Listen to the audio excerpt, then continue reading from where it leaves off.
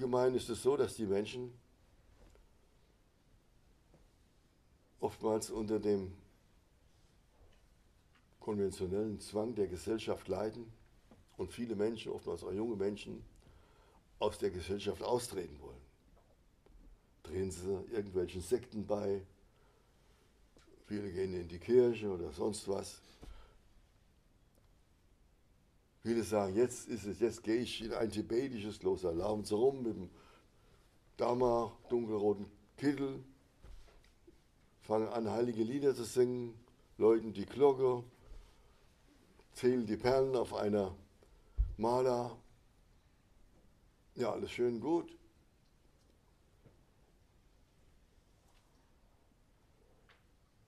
Sie unterwerfen sich eben genau dieser Lehre, diesem System. Aber in Wirklichkeit ist es so, dass sie von einer Gebundenheit in die nächste getreten sind. Anstatt dass sie frei geworden sind, haben sie sich ein neues Konzept auferlegt und hängen jetzt da fest. Ich bin jetzt ein Hindu, ich bin jetzt ein Vedanta-Mönch, ich bin jetzt ein Sufi, ich bin jetzt dies und das und jenes.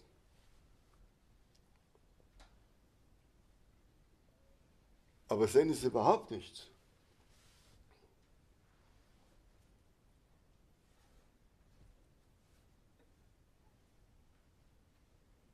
Gar nichts.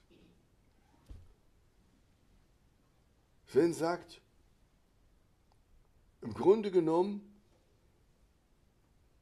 ist Buddha nur der erste Anstoß. Aber wir sind noch keine Buddhisten. Ja, was seid ihr dann, könnte einer fragen. Und Zen würde antworten, alles, was man darüber sagen könnte, würde das Wesentliche verfehlen. Aber es geht nur um das Wesentliche. Und was ist das Wesentliche? Dass du dein ursprüngliches, ureigenes, wahres Sein erfährst.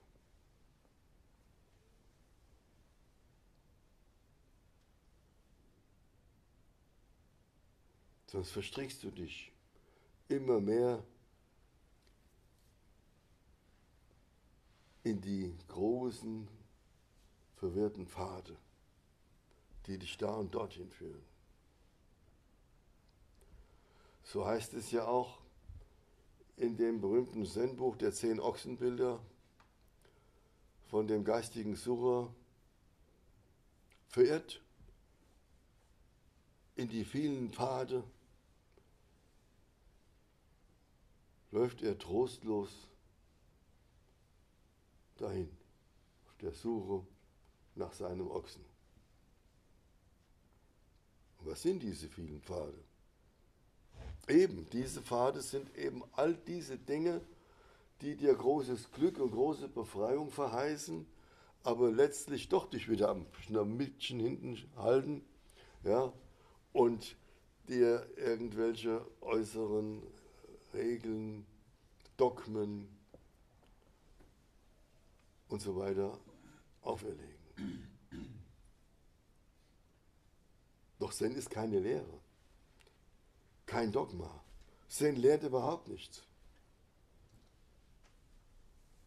Könnte alles sagen, ja, es muss doch aber irgendetwas geben, was Zen doch lehrt.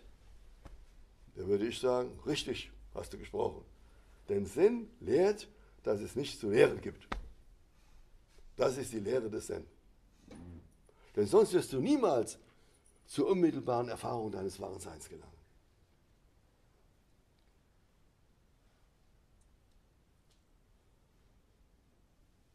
Du sagst dann, stirb und sei ganz tot. Und dann ist alles gut, so wie es ist.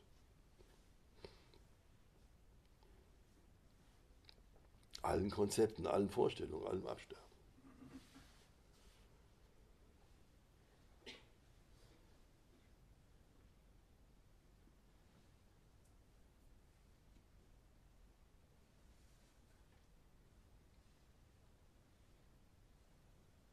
Doch wie?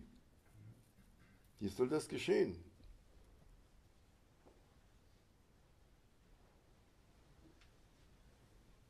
fast ein jeder weiß ja, dass Zen, das Wort Zen Meditation heißt. Also meint man, es geht nur darum zu meditieren. So häufig, so oft wie möglich. Meditieren, meditieren, meditieren.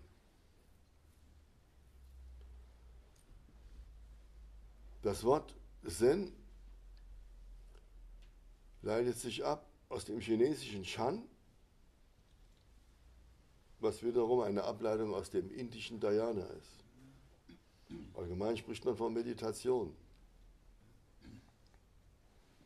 Doch Meditation bedeutet, man meditiert ja über irgendetwas.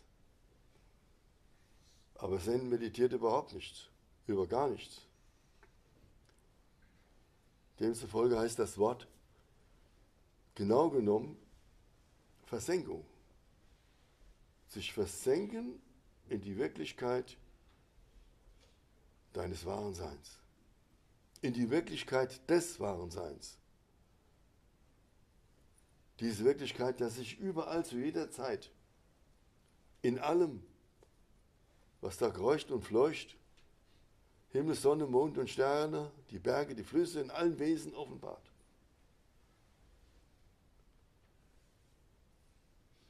Der Weg der Sitzmeditation ist sehr wichtig und großartig und wunderbar. Aber es ist nicht allein Zen. Es gehört dazu. Es bringt dich dahin, dass du dein Gewahrsein stabilisierst und nicht von den Gedanken und den Vorstellungen und von Gefühlen hinweggerissen wirst und ständig dein Leben nur in der Summe deiner selbst verursachten, verselbstständigten Konzepten lebst und meinst, das sei es das wahre, richtige Leben. Aber letztlich führt Zen dahin, dass du diese geistige Verfassung des Gewahrseins, deines wahren Seins, das jetzt hier in diesem Augenblick sich offenbart, überall und zu jeder Zeit erfährst. Dass du dich versenkst in dein wahres Sein, versunken bist in deinem inneren Grund, verankert bist in deinem inneren Grund, wäre in dem Fall, was ich jetzt weiter sagen will, noch stärker bei allem, was du tust. Bei allem. Könnte einer sagen, ja, ja, so, ich, wie kann ich da meditieren, wenn ich jetzt mit 220 Sachen über die Autobahn rase? Doch. Ich fordere dich auf, das zu tun, aber nicht in der Weise der Meditation, wie es im Allgemeinen verstanden wird, sondern in der Weise der Versenkung, wiederum in der Weise des Verankertseins, in einem stabilen Verankertsein in deinem inneren Grund.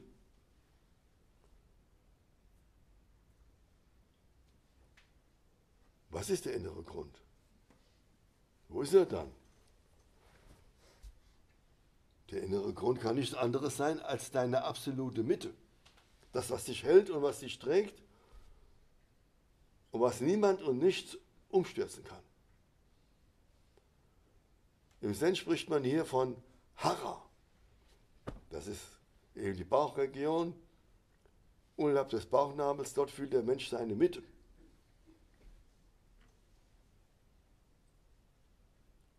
Aber es geht nicht darum, dass du jetzt den Bauch immer fühlst, sondern dieses Leben, diesen Seinsimpuls, der sich hier regt, das, was dich hält und was dich trägt,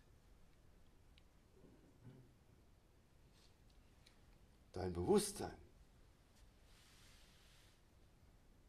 Ja, die meisten Menschen sagen ja, Bewusstsein, Bewusstsein habe ich doch hier oben.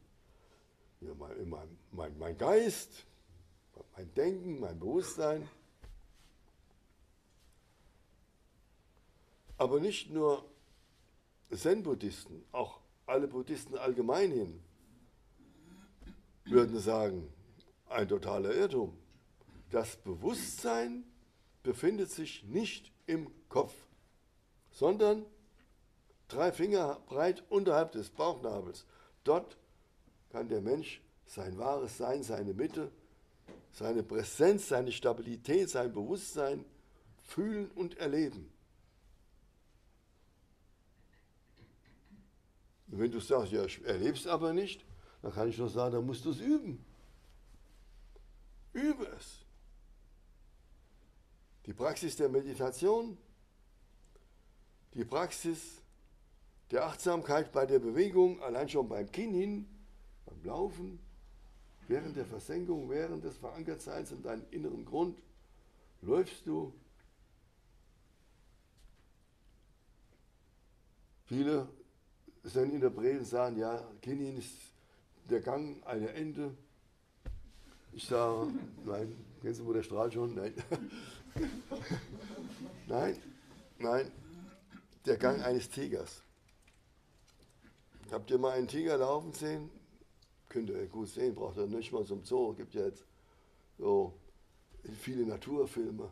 Da seht ihr Großaufnahme, ein Tiger, der läuft, haben wir erst vor ein paar Tagen wieder gesehen. Oh, hat die Maus gesagt, guck mal hier, das ist absolutes Kind, das ist es ja. Da ist jede Bewegung und er ist eins. Und wenn er den, seine Pfote aufsetzt, dann ist er mit, dem, mit der Erde vollkommen eins. Der Tiger, die Erde, oben der Himmel, alles eins. Und wenn er sich anschleicht und diese Achtsamkeit dabei, dieser Blick, das ist das. Das ist das. Gewahrsein, Achtsamkeit. Wenn du natürlich die allgemeine Weise jetzt dann vorziehst, jetzt verträumt, du sitzt und zu meditieren, dich bemühst, alles Denken auszuschalten und dann gleichzeitig mit 250 Sachen die Autobahn rasen willst, würde ich dir raten, es lieber zu lassen. Das wäre nicht gut. Aber dieser absolute Zen-Weg des Verankertseins in deinem inneren Grund, bei allem, was du tust, Kartoffelschälen, Autofahren, dein Computer bedienen, alles, was du machst, auch wenn du mit deiner Frau oder mit deinem Mann im Bett liegst, in der liebevollen Umarmung, alles ist das eine. Wenn es irgendetwas gibt, was du ausschließt, irgendetwas, dann bist du nicht im Zen. Da hast du schon wieder das Wesentliche verfehlt.